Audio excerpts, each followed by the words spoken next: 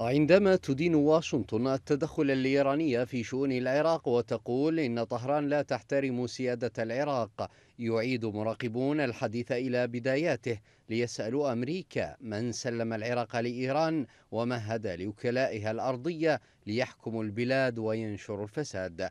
الخارجية الأمريكية أدانت هجوما شنته الميليشيات المدعومة من إيران ضد قواعد أمريكية معتبرة أن إيران لا تحترم سيادة العراق وأنها تسعى لعدم استقراره.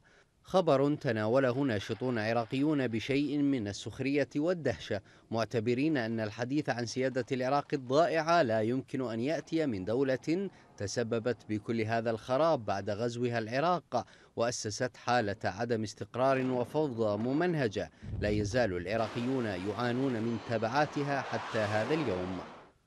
أمريكا التي تتحدث عن السيادة لا تزال قواعدها العسكرية في العراق وتتصرف بها دون حتى التنسيق مع الحكومة المفترضة في بغداد وهي إلى الآن بالعرف العام تعد دولة محتلة.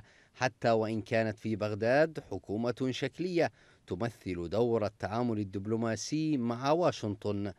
الانتهاك الأمريكي للسيادة العراقية لا يعني أيضا أن إيران لا تمارس الدور نفسه. فكل من يقرأ المشهد العراقي يعرف حجم التخادم الأمريكي الإيراني في العراق لكن قلق واشنطن من عدم احترام طهران للسيادة العراقية.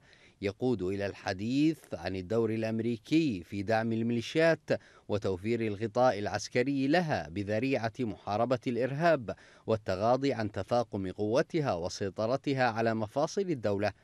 حتى أن المشروع الإيراني في المنطقة عموما والعراق خصوصا ما كان ليعيش لولا عمله تحت المظلة الأمريكية كما يقول مراقبون.